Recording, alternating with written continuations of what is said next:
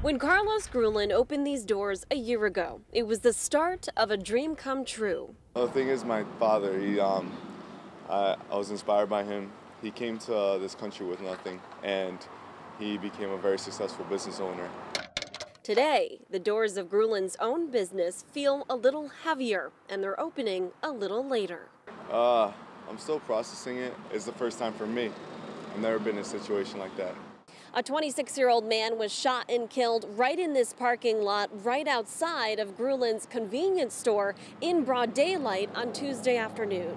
I heard um, a loud sound, and I was I was telling people that I never even heard, I never even knew what a gunshot sounded like. The man who was killed by that gunshot now being remembered by the community as police search for the person responsible using the surveillance video from the cameras right outside of the store.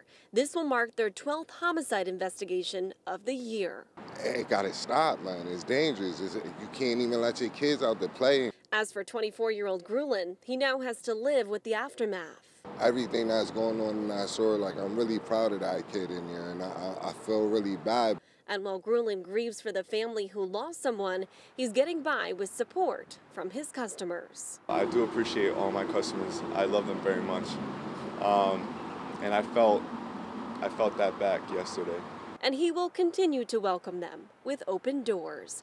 In Waterbury, Julia LeBlanc, Fox 61 News.